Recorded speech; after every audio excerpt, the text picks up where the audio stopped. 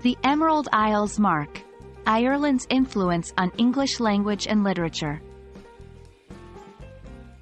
Hello, English learners. Today, we're diving deep into the heart of Ireland and exploring its immense contribution to the English language and world literature.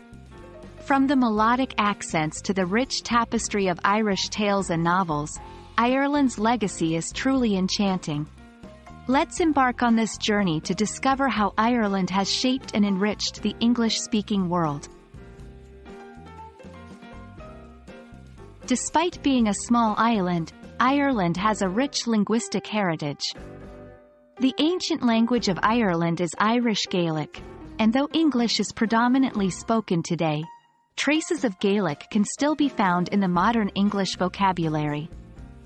Words from Gaelic Many common words we use in English, such as galore, meaning in abundance, and smithereens, meaning tiny pieces, have Irish origins. Next time you hear someone say they have whiskey galore, you'll know it's not just about the drink, but a nod to the Irish word, go leor. Phrases and sayings. English also inherited certain ways of expressing ideas from Gaelic.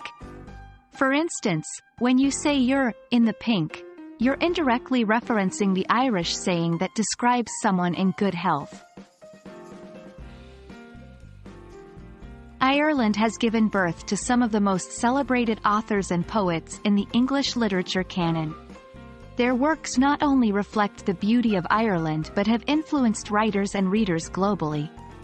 James Joyce, often hailed as one of the most influential writers of the 20th century, Joyce's Ulysses is a testament to the intricate beauty of language and life's profundity. W.B. Yeats, a Nobel laureate, Yeats's poetic expressions beautifully amalgamate the mystical and the mundane. His lines, Things Fall Apart, The Center Cannot Hold, from The Second Coming, have been quoted and referenced widely. Samuel Beckett, known for his play, Waiting for Godot. Beckett's works are thought-provoking, delving deep into the human psyche, often with a touch of the absurd.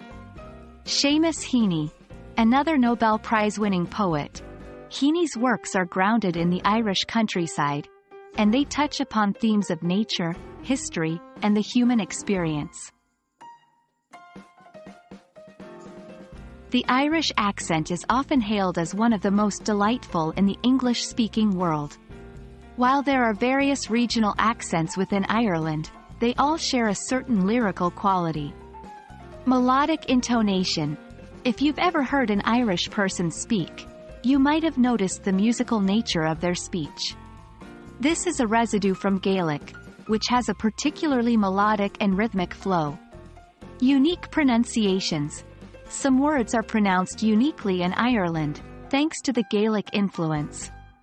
For instance, three might sound more like tree and film like film.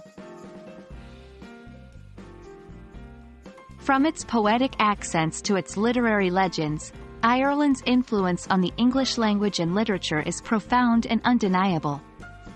As you continue your English learning journey, we hope you're inspired to dive deeper into the Irish legacy, perhaps picking up a book by one of the greats or even trying out an Irish accent.